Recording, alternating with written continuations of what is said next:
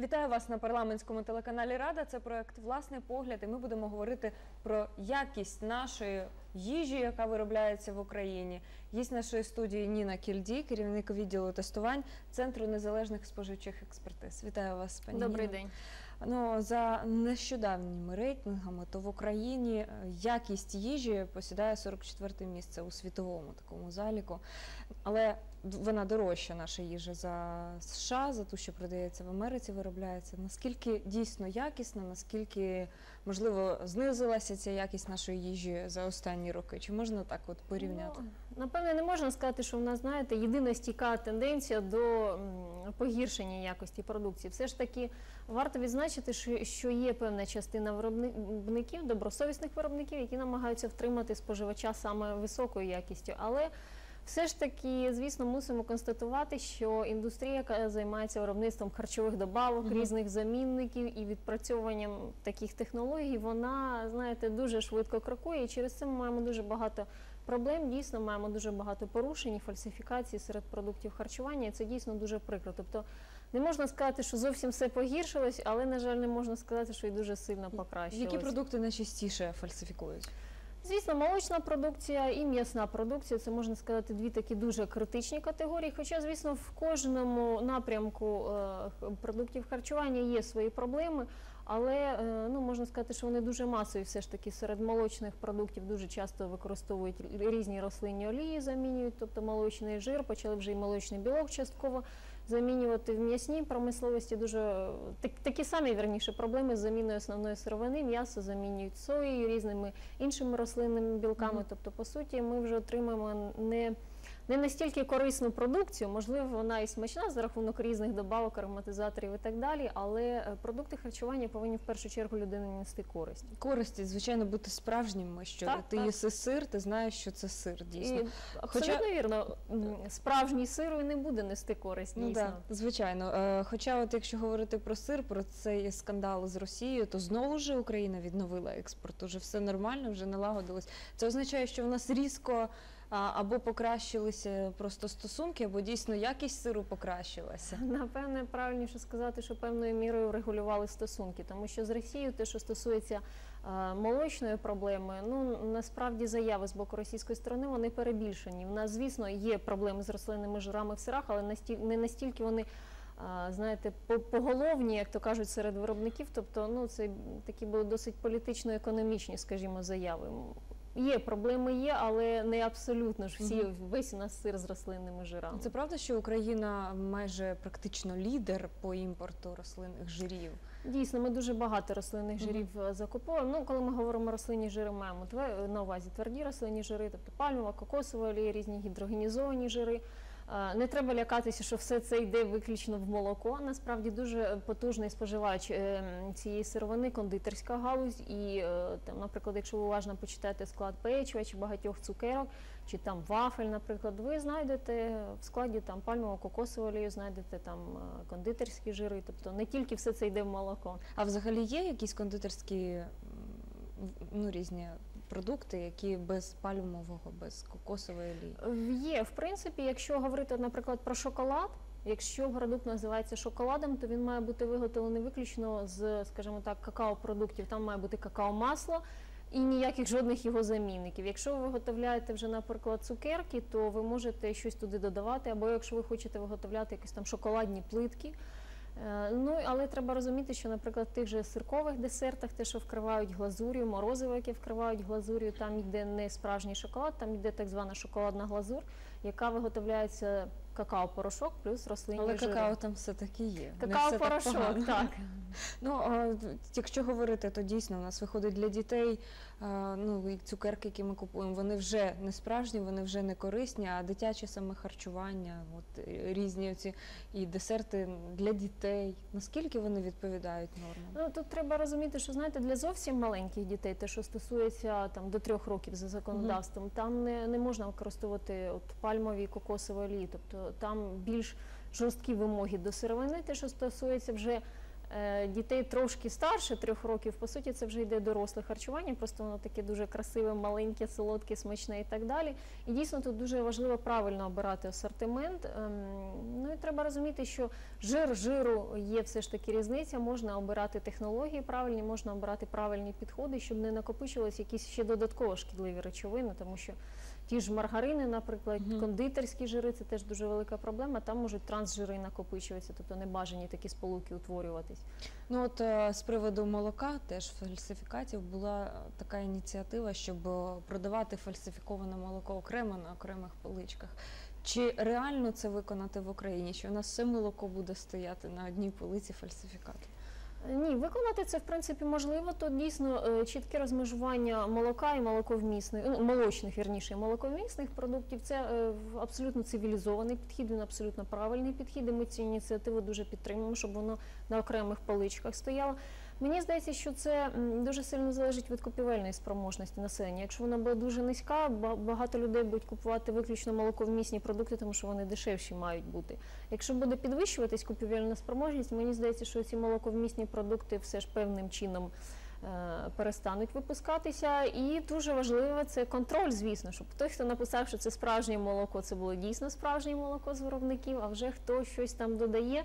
То він має це дійсно чесно вказувати на етикеті. Це Ну, така дуже важлива принципова проблема для Якщо України. говорити про контроль, в нас є, здається, п'ять е, структур, які контролюють всі ці е, порушення, контролюють якість їжі. Та? От, е, кажуть, чим більше таких органів контролюючих, тим а, гірше це все налагоджено. Як на ваш погляд? Проблема координації діяльності всіх ланок вона існує. Насправді дійсно дуже важливо, щоб державні органи це одна ланка, на, на різні в різних напрямках це одна ланка. Громадські організації це інша ланка. Третя ланка це виробники, які теж насправді дуже е, можуть впливати на підвищення якості, тому що е, для них це свій е, засіб конкурентної боротьби. Хто знаєте, потужний такий виробник він зацікавлений підвищувати стандарти, тому що це для нього свій спосіб. І споживачі, які мають бути освіченими, свідомо робити купівлю. І е, якщо ми хочемо покращення, то всі ці чотири ланки, знаєте, мають злагоджено як механізм працювати. Цього в нас е, поки що в Україні не вистачає, тому що далеко не, не завжди державні структури між собою дуже знаєте, скоординовані в діях, не дуже завжди скоординовані знову ж таки з громадськими організаціями чи з якимись спілками виробників, які теж можуть свої інтереси якось відстоювати. Цієї координації не вистачає, але я думаю, що все ж таки потихеньку-потихеньку, але в цьому напрямку ми рухаємося. Ну, давайте послухаємо запитання від самого споживача, від нашого глядача. В мене запитання до е, вашого гостя. Е, От скажіть, будь ласка, на вашу думку, ви е, займаєтесь опитуванням населення, знаєте думку громадськості. А що насправді змінилося після реформування судової системи? Адже в нас на скрізі, Ну, особливо на державному рівні- рівні, говорять, що ми м, провели реформу. Давайте зупинимося. Це не те запитання, це було до Мельника запитання. Давайте, ми чекаємо. Шукайте запитання. А як ми склеїмося? Да склеимся мы нормально, давайте. Мы же же клеились.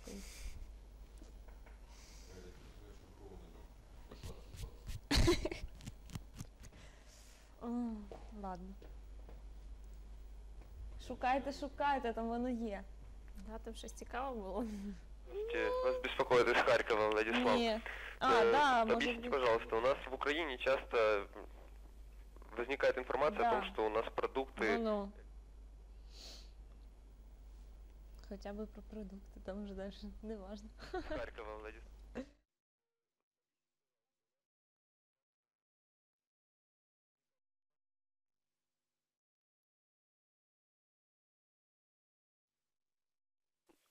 Здравствуйте, вас беспокоит из Харькова Владислав. Э, Объясните, пожалуйста, у нас в Украине часто возникает информация о том, что у нас продукты э, некачественные, часто фальсифицированные, не сделанные по стандартам. А, Также есть продукт, продукты, которые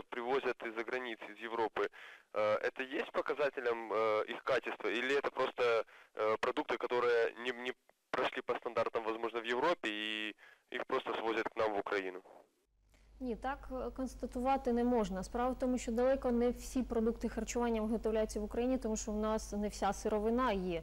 Е, Вибачте, ти ж, наприклад, рибні товари, морепродукти, вони до нас більша частина все ж таки завозиться, тому що в нас не хватає, не вистачає своєї сировинної бази, чи, наприклад, та ж червона ікра, все, все одно сировина до нас завозиться, як би ми того не хотіли. Чай завозиться, кава завозиться, воно в нас не вирощується в промислових масштабах.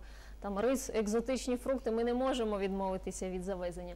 Це не означає, що до нас завозять виключно все погане, абсолютно не, не зовсім правильно констатувати. Я б, наприклад, більш прискіпливо ставилася до продукції, яка завозиться з Китаю. Тобто до нас не тільки Європа завозить, наприклад, китайської дуже багато консервованої продукції: гриби, огірки, помідори, кукурудза.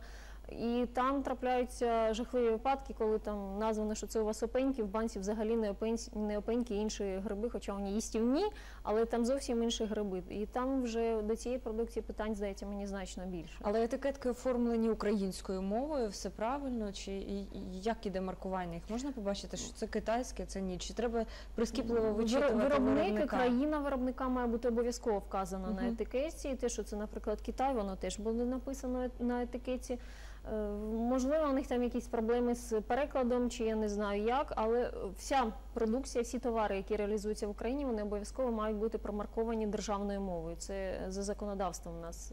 Хоча насправді виключення трапляються. Ну, ми в своїй роботі ставимося так, що якщо є чи російська, чи українська мова, то вже наш споживач зможе зрозуміти гірше, коли вам трапляється товар, на якому тільки іерогліфи, і ви взагалі нічого не зможете прочитати. Таке трапляється насправді, але дуже рідко.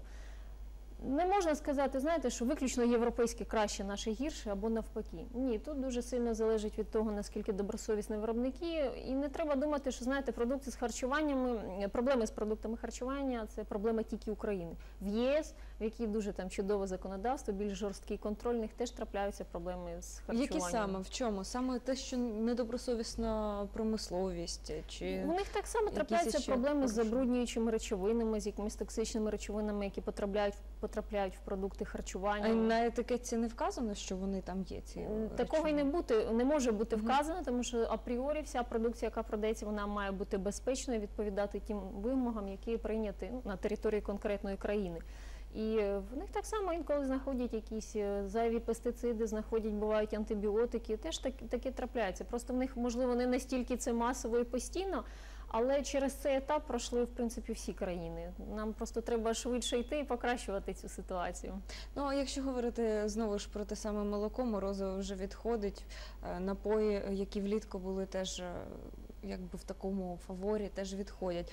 Іде новий рік попереду, і тут в цьому ажіотажі знову ж можна натрапити на неякісне, на якісь просрочені, так би мовити, різні продукти. Як отут чи підвищується теж рівень порушень саме в новорічний Рівень час? порушень дійсно буде підвищуватись, тому що в ці в цьому ажіотажі, дуже такому великому, можна спробувати продати дійсно залежалий якийсь товар.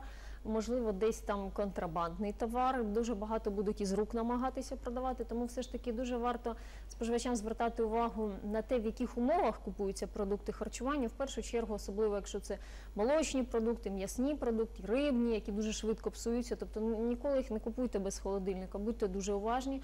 Звертайте увагу на етикетку, тобто дійсно, щоб це був свіжий продукт. Ну і звісно, звертайте увагу на те, що вам там на касі нарахували, тому що, на жаль, під новий рік такі теж. Мусимо констатувати, Мгм. що трапляються теж дуже часто обраховуючи невідповідність ціни в залі, і то що- те, що вам вибили на касі, це теж по суті порушення. Це вже до якості продукції немає відношення, але все одно до продуктів харчування має відношення. Треба бути дуже уважним. з алкоголем як у нас ситуація в Україні? Особливо шампанське на Новий рік? Не найгірша, скажу чесно. Можна сказати, що якщо взагалі взяти горілку, то це е, унікальне виключення в Україні з продуктів харчування, яким можна пишатися.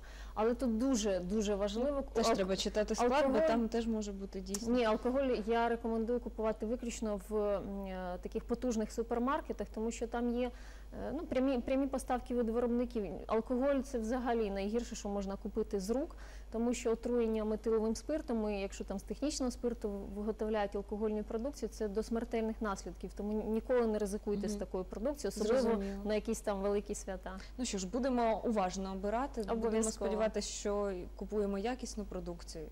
Нагадаю, гостею студії була Ніна Кільді, керівник відділу тестувань Центру незалежних споживчих експертиз. Залишайтеся з нами, телефонуйте щодня з понеділка по п'ятниці з 10 до 11 години. Залишайте запитання до наших гостей, адже ми робимо політику зрозумілою.